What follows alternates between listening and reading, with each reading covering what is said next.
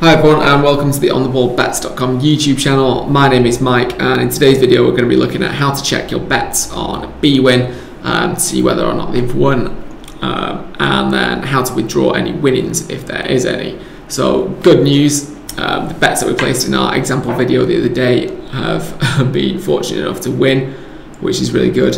Uh, so as you can see at the moment we're on the BWin homepage um, just looking at the sports book um, we've got the bet slip over here that doesn't have anything in it, so we're going to click on My Bets.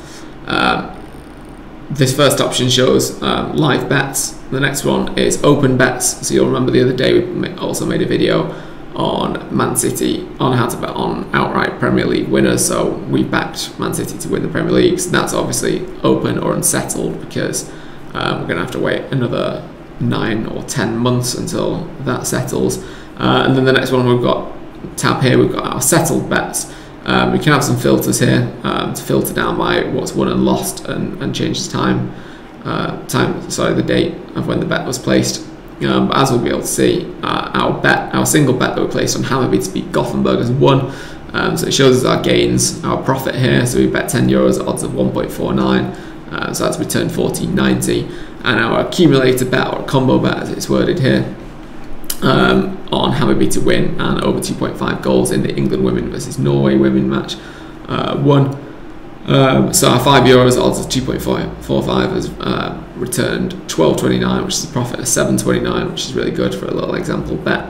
Um, this we can press detail here and it'll show the, the time and date that we uh, placed a bet and it's also got an ID number um, so should you ever need to speak to BWin live support about a particular bet that's where you'll find the ID number um, to look at all of your bets, you just click on the account icon at the top, click on my account, and then click on my bets. That'll take you over to this page where again it shows um, the current results of your bet. So we can see that um, our two bets uh, awesomely have, have gone and won. And again, you can click on the filter here and filter down by those that have won and put in a start date and an end date and press show results, um, which is epic. And you can also print it, you know, if you did hit a big win and you wanted to stick it on the pin board for some motivation, then you can do that.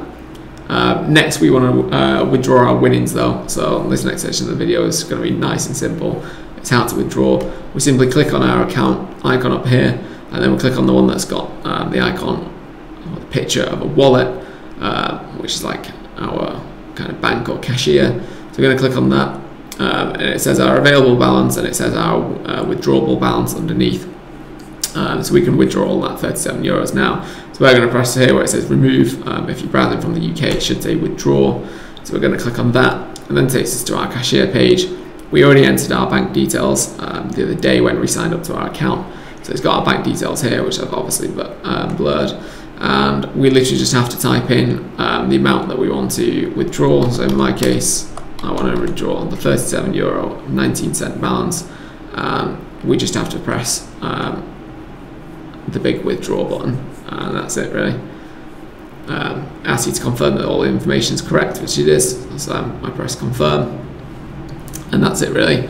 Uh, the withdrawal has been processed. Um, it estimates that it'll be in my account within three to five business days, and that's it really. Um, this video uh, or potentially the next one on how to close your BWin account will conclude the series of BWin videos. So if you've watched any of those, then thanks for watching. Be sure to check out our YouTube channel where we've got plenty of other videos on using different sports books, uh, betting markets explained, etc.